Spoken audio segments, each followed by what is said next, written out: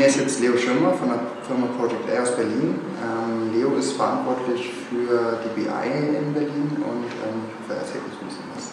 Leo, hallo. Hallo, schön, dass du da sein Ja, sehr gerne. Wir freuen uns, dass du dir die Zeit nimmst. Wir nehmen deinen Vortrag, bist ja ein bisschen später dran. Ähm, ja, Project A. Was ist Project A eigentlich und was ist deine Aufgabe in dem Project A ist ein Company Builder.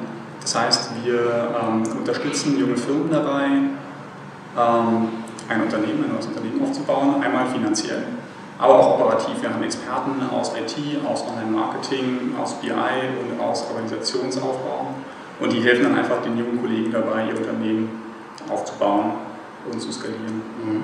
Wie sieht für dich so der Arbeitsalltag aus? Also gibt es für dich so ein Profitset, dass du sagst, okay, wir haben jetzt hier eine neue Company und da gehen wir so und so vor, unsere Tools sind eigentlich immer die gleichen, die wir im Einsatz haben. Ähm, wie genau schneidet ihr das auf die einzelnen Ventures zu?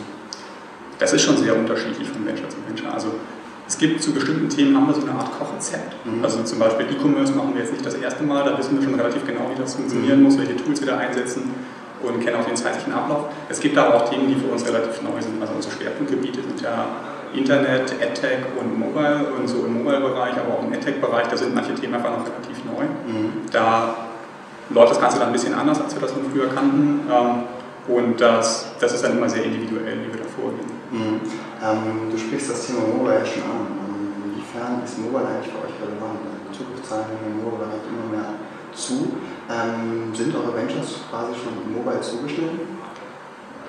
Zum Teil, würde ich sagen. Ja. Also wir haben Ventures, wir haben zum Beispiel Wine in Black, mhm. die ähm, haben ihre Mobile-App und erzielen damit auch schon die ersten Erfolge. Mhm. Wir werden auch weiterhin äh, in der Richtung einiges unternehmen.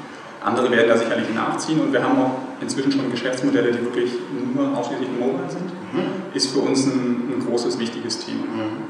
Ähm, siehst du das denn so, dass gerade reine Mobile-Commerce-Projekte ähm, im gleichen Umfang gestartet werden können wie normale Projekte, die vielleicht nicht nur auf Mobile zugeschnitten sind?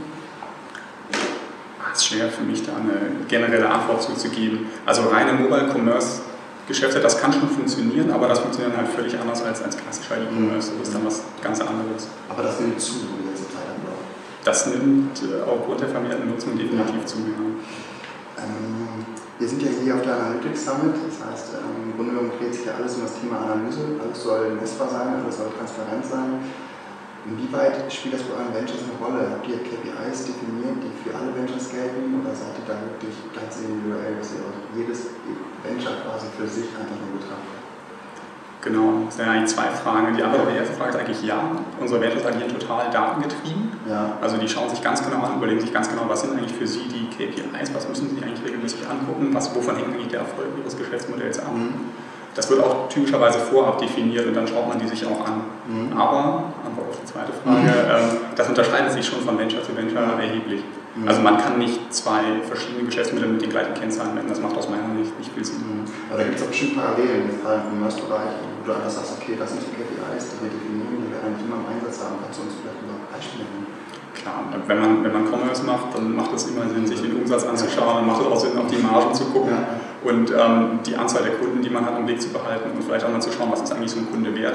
Das macht definitiv immer Sinn. Mhm. Aber danach unterscheidet sich, fängt es dann schon an, sich zu unterscheiden, ob ich einen Shopping-Club habe oder ob ich einen klassischen Shop habe. Mhm. Da geht es dann schon auseinander. Durch ähm, die Arbeit mit Project A hast du ja eigentlich einen großen Volumenblick. Das heißt, du tauchst ja auch in viele einzelne Branchen ein. Wie siehst du das Thema Conversion-Attribution? Ähm, inwieweit spielt das für euch eine wichtige Rolle, dass du sagst, ich nutze Attributionsmodelle und habt ihr vielleicht einfach so ein Erfolgsrezept, dass ihr sagt, wir haben ein klassisches Attributionsmodell, was wir so gut wie immer einsetzen? Ähm, Conversion-Attribution ist wichtig. Haben wir auch gerade erst wieder einen Vortrag gehört in der Keynote hier mhm. auf, der, auf der Summit. Ähm, das Modell, was immer passt, gibt es aus meiner Sicht nicht. Ähm, was wir haben, ist, wir haben typischerweise einen Startpunkt, einfach Modelle, die sich in der Vergangenheit bewährt haben, die wir dann erstmal einsetzen und schauen, wie muss man die jetzt adaptieren, damit sie dann zu dem jeweiligen Geschäftsmodell passen. Mhm. Ansonsten tendiere ich eigentlich fast dazu, schon so einen Schritt weiter zu gehen und jenseits der Modelle zu denken, weil so ein Modell ist ja immer eine starke Vereinfachung und man kann immer sehr leicht irgendeinen Fall konstruieren, bei dem jedes Modell, was man auf anwendet, nicht funktioniert. Mhm. Wo man sehr schnell sieht, oh, das passt in dem Fall natürlich nicht. Mhm. Das heißt, der nächste Schritt wäre eigentlich, sich von diesen Modellen wieder so ein bisschen zu lösen. Das ist auch das, was Google Analytics jetzt mit diesem Data-Driven Attribution macht. Ähm, das finde ich eigentlich sehr spannend, dass man nicht sagt, man hat ein starres Modell, sondern man hat eigentlich ein, ein flexibles System, was in der Lage ist, verschiedene Customer Journeys unterschiedlich zu interpretieren. Mhm. Das heißt, ihr müsst euch das auch laufend angucken. Ähm, verändern sich solche Attributionsmodelle, wie ihr vielleicht festlegt im Laufe des, äh, der Zeit? Ja, die ändern sich auf jeden Fall. Also gerade auch wenn so ein Unternehmen langsam erwachsen wird, am Anfang braucht man noch nicht das komplizierteste Modell, das wäre dann vielleicht viel zu kompliziert und das okay, mit einem einfachen Modell zu starten, dass man einfach ein Ergebnis hat, mit dem man arbeiten kann. Mhm. Dann wächst das Unternehmen, dann wird der Marketingmix kompletter, dann wird das Ganze komplizierter, verschiedene Kanäle beeinflussen sich gegenseitig und da muss man auch zu komplizierteren Modellen übergehen. Mhm. Das heißt, die standardisierten Modelle die reichen euch eigentlich gar nicht? Die reichen uns nicht, aber die sind ein guter Startpunkt. Also das würdest du jetzt im Startup empfehlen können, dass man sagt, okay, wenn ihr euch das nicht individualisieren könnt oder nicht wollt, dass man mit äh, Standardmodellen erstmal arbeitet. Ja, unbedingt. Ja. Also erstmal die Standardmodelle anschauen, dann auch gucken, welche Unterschiede treten denn eigentlich auf, wenn ich verschiedene Standardmodelle einsetze. Mhm. Ähm, weil dann kriegt man erstmal so ein Gefühl dafür, wie groß ist denn eigentlich der Einfluss davon, welches Modell ich anwende. Mhm. Und das, was mich immer so ein bisschen ähm, irritiert, ist die Suche nach dem richtigen Modell. Ähm, Im Grunde genommen weiß ich selber nicht, ob es das gibt. Also früher war alles falsch, Last Click, ähm, First Click. Ähm, Habe ich mittlerweile eingesehen, das macht wenig Sinn. Mhm. Ähm, aktuell sehe ich diese Modelle eher so, sie sind weniger falsch. Ähm, das heißt, sie sind, stellen Verbesserungen dar. Ähm, wie sieht das da aus? Gibt es das perfekte Modell oder wird es das irgendwann geben? Nein, ich glaube, ich glaube nein. Mhm. Weil ich, ich sehe das im Prinzip genauso wie du. Alle Modelle sind falsch Mhm. Habe ich ja gerade auch schon mal gesagt, man kann eigentlich immer irgendeinen Fall konstruieren, wo dann ein bestimmtes Modell nicht passt. Mhm. Ähm, es ist immer eine Vereinfachung, und, aber man kann mit vielen Modellen, die man so hat, kann man sehr gut arbeiten und gute Ergebnisse erzielen. Mhm. Kommen wir zum nächsten Thema. Digitalanalyse im Moment sieht sich ja ziemlich vielen Herausforderungen gegenübergestellt. Ähm, wir haben ja jetzt eben über das Attributionsmodell gesprochen, mhm. wir haben das Thema Multi-Device, ähm, Second Screen, auch das Thema Mobile. Welchen Herausforderungen seht ihr euch gerade so, so gegenübergestellt?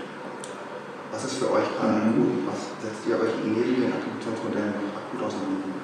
Multi-Device-Tracking ist definitiv ein Thema, weil das konzeptionell ist das relativ leicht zu lösen. Ein Benutzer hat halt mehrere Devices und die muss man am Ende irgendwie wieder zusammenführen, um den Benutzer zu betrachten. Praktisch, technisch ist das aber nicht ganz einfach, mhm. das wirklich umzusetzen, weil man damit verschiedenen Tools manchmal zu tun hat die dann irgendwie wieder zusammenbringen muss. Das ist eher so eine, so eine ähm, technische Herausforderung als eine konzeptionelle. Konzeptionell ist das nicht so kompliziert aus meiner Sicht. Ähm, siehst du da auch die Möglichkeit, ähm, Offline-Kampagnen zu bewerten mit der Digitalisierung, also bestimmt online, dann mittlerweile auch offline? Das letzte bestimmt online. Ja, offline quasi, ähm, ist die Datengetriebenheit mittlerweile auch in Offline-Kampagnen angekommen? Also kann man Offline-Kampagnen sicher bewerten? Anhand der Attributionsmodelle, die man ausnimmt? Wahrscheinlich nicht in jedem Geschäftsmodell. Aber bei den Ventures, mit denen wir arbeiten, die zum Teil auch Offline-Marketing-Kampagnen laufen haben, ähm, da machen wir das. Da wollen wir auch Offline-Kampagnen bewerten und nicht sagen, Offline ist eine Welt für sich, sondern im Prinzip muss ja Online und Offline irgendwo vergleichbar sein. Man muss ja entscheiden, wo man jetzt die nächsten 1000 Euro Marketingbudget ausgeben möchte. Okay, ähm, lass uns mal auf meine Glaskugel schauen. Ähm, was siehst du in den nächsten drei Jahren in, in, in digitaler Analyse auf uns zukommen? Also was sind so Herausforderungen, die zukünftig eigentlich eine Rolle spielen werden? Jetzt nicht im Augenblick, aber was wird kommen? Ähm, na, erstmal, da muss man nicht drei Jahre gucken, sondern nur die nächsten Monate, vielleicht das nächste Jahr wird das Thema Multi-Device-Tracking, wird glaube ich ziemlich weit oben auf der Agenda stehen. Ähm, Customer Journey Analysen, also Attribution. Das, aus meiner Perspektive war das jetzt eher so das Thema der letzten zwei, drei Jahre. Da wurde ganz viel gemacht und da ist man auch relativ weit an dem Punkt. Also solange man modellbasiert attribuieren will, sind, glaube ich, die Tools inzwischen so weit, dass das gut geht. Da wäre eigentlich der nächste Schritt aus meiner Sicht wieder, sich von diesen Modellen ein Stück weit zu lösen mhm. und zu sagen, eigentlich wissen wir, dass alle Modelle falsch sind und jetzt müssen wir mal gucken, was wir stattdessen machen, mit irgendwelchen statistischen Methoden dann solche Customer Journeys ähm, auswerten können. Mhm. Okay, Leo, ich bedanke mich bei dir. Ja, sehr interessante 10 Minuten. Ähm, ich wünsche dir noch viel Spaß auf Analytics Summit und einen erfolgreichen Vortrag. Vielen Dank. Bitte.